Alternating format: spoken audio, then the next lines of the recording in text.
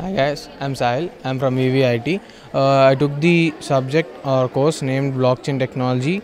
Uh, this tech, this used for most cases. It is a future of the technologies of making transactions of your uh, any transaction of uh, in the internet. To say clearly, it helped me a lot. Uh, it took a lot of time to me to maintain. Uh, yeah to maintain me and took a lot of time for other to know.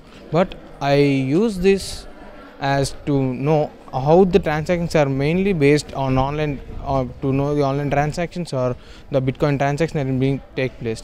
Bitcoins are the future i could say that because in nowadays uh, due to to say yeah hacking everything is uh, being hacking and uh, globalization of internet publication of internet free internet access.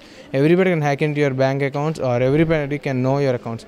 The only way is the bitcoin technology cannot be known where your money is going from one place to another place because it produces a single line. So i thought the bitcoin might be the future so i took the blockchain technology. Thank you